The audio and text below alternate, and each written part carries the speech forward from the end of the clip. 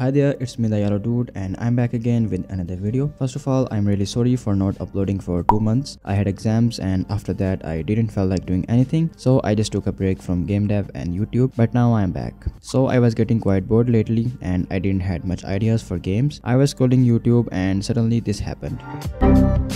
So I decided to recreate this game but in Godot and to spice things up a bit, I decided to make the entire game in just one hour.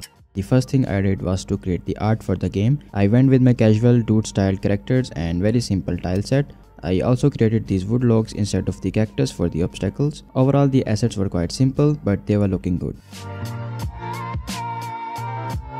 After creating the art, I created a new project and imported all of the assets into Godot and did the whole project setup. Then instead of spawning the tiles endlessly, I just wrote a simple shader that scrolls the texture of the sprite infinitely and that gave the look as if the player is moving. Then I started to work on the object spawner. The object spawner was made to spawn any kinds of object in the game. I did so because if in future I decide to add some background elements like more trees or mountains for a parallax effect, I can easily do so and spawn any kind of object. After the basic spawning was finished, I made the obstacles move from right to left. Then I started to work on the player controller. The player movement was quite easy. All I had to make was jump and gravity and the controller was done. Then I fixed the spawn position of the obstacles because they were spawning a bit off the ground. I also scaled down the size of the obstacles because they were too big. Then to complete the game loop, I made the player die when colliding with the obstacles.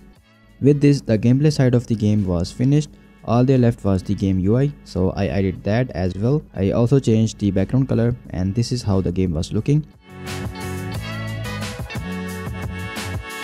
Then at last I created the game over screen and the time was over. So that's it for today's video. If you enjoyed this one then please consider subscribing, like this video and share with your fellow developers. I'll meet you in the next one. Bye bye.